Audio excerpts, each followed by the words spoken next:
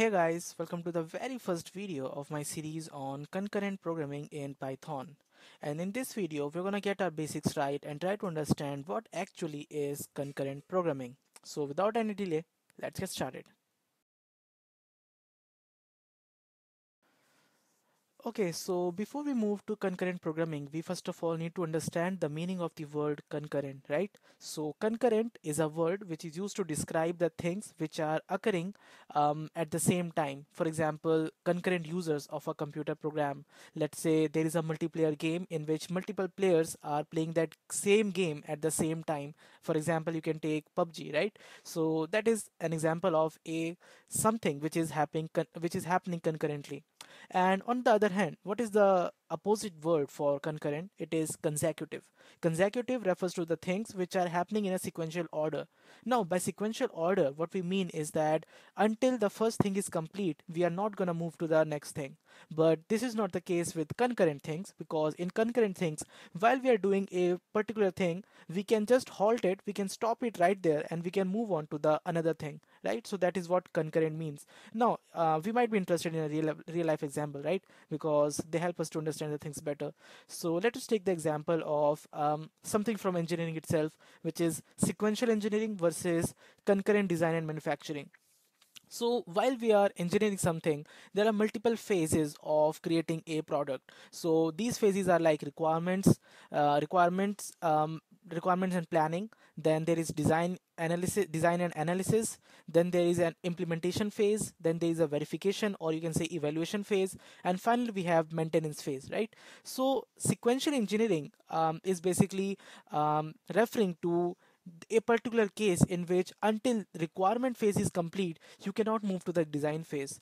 And until design phase is not complete you cannot move to the implementation phase. So all the phases are dependent upon each other and until the first phase is complete you cannot move to the second phase. That is an example of um, a sequential thing which is happening here. The phases are occurring in consecutive manner. But now let's come to another um, model of engineering which is concurrent design and manufacturing. In concurrent design and manufacturing what happens is that you start your planning you do requirements uh, analysis then you do designing and after that you do testing and then you do evaluation. Now you do not stop there. Actually you keep on in you keep on moving in the cycle and you again try to see if you missed any requirements uh, during your evaluation and then you add those requirements and then again you design with those requirements and then again you test then again you evaluate and if still something is missing you keep on moving in this particular cycle. So in this way the requirement phase is never complete it is just halted and we just try to see if we can design something. And if something is left while we are doing evaluation we again add something to the requirement. So this is an example of something which is happening concurrently. And once um, we are satisfied with the product we just move out of this cycle. So this is a very simple but a very good example of difference between uh, something which is sequential versus something which is concurrent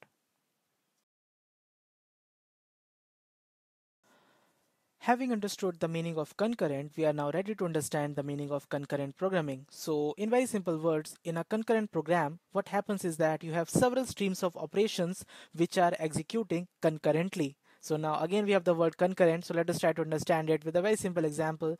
Let's say you have a program in which you have multiple tasks to do. You have task 1, you have task 2, you have task 3, you have task 4 and you have task 5. Now um, a sequential case of doing these five tasks would have been that you would just do the task one. Once the task one is complete, you move on to the task two and then three and four and five. But here, what we are seeing in this particular um, diagram is the example of a concurrent execution. What is happening here is that you do some task 1, then you just switch to task 2. This particular switching is also known as context switching. So you move on to task 2, then you move to task 3 after some time, then 4, then 5, then again you move back to task 1. So now the thing to understand is that task 1 was not complete yet when we had moved to, to task 2 in this particular case. So what happens is that task 1 had halted its operation and now it again resumes its operation from here once again after task 5 5 um, is stopped and now task 1 is again executing and after some time it passes its control back to task 3 and then task 2 So this particular case, what is happening here is called concurrent programming. And another aspect of understanding this particular thing is that we can say that concurrency is a property of system which enables overlapping of process lifetimes. Now overlapping of process lifetimes is quite an interesting concept what is happening here. By overlapping of process lifetimes we mean that um, the the lifetimes of the processes are actually overlapping with each other which simply means that we are not waiting for the completion of a process and then moving back to the another process. While a process is um, being executed we are having another process also doing its execution during that particular lifetime. So for example the lifetime of task 1 is let's say this particular lifetime right? So during that task 2 was also being executed at some stage. Task 3 was also being executed 4 as well and 5 as well. So in this way we say that the lifetimes of all these tasks are actually getting overlapped with each other. So that is what concurrency is all about. If you are able to um, allow the tasks to run in such a way that they can overlap their lifetimes then we call that then we say that we have achieved concurrency. So this is what concurrency is all about. But now concurrency is very similar to one more concept which confuses people a lot which is concurrency versus parallelism. So what is concurrency and what is parallelism is a very confusing topic for some people. So let us try to decode it one by one here. So now in concurrency what happens is that you have some tasks you start the task you run the task and they complete in overlapping time periods. We have understood the meaning of overlapping time periods right? So you have tasks let's say task yellow and task red. So while task yellow is um, is getting completed in during that time period only task red also started executing and it kept on executing right? So this is an example of a concurrent execution. Concurrent execution where we were dealing with multiple things at once. Now the thing to understand dealing with multiple things at once. But now come to parallelism. Here what we do is we try to do multiple things at once. So in parallelism what we when we say that parallelism is happening when multiple tasks are running at the same time or you can say multiple tasks are running simultaneously. Now um, on single processor or single core systems it is not possible to achieve parallelism. If you want to have parallelism what you need is a multi-core or multi-processor system. So on multi-core systems each core is capable of running um, one process at a time. So what you what you do is that you give task one to one processor you give task two to another processor and now both are executing your processes at the same time. So in this way you are achieving parallelism. Your tasks are getting executed parallelly. So now um, a very simple thing to remember just here is that in concurrency we deal with multiple things at once but in parallelism we do multiple things at once. So that is the basic difference. So this brings us to the um, almost the end of the video but I would like to stop it with a very simple story. Let us say um, there is a tourist spot where people go. So that tourist spot has a very nice coffee machine which people try. So there is a group of girls uh, which come to visit that place and now they have queued themselves up in front of the coffee machine and they are waiting for having their coffee. They are getting it one by one. And in the meantime some boys come there and they also queued themselves behind the girls and now they are waiting for their turn. So if you consider girls a, as a single process and the boys as a single process then this is an example of a sequential program.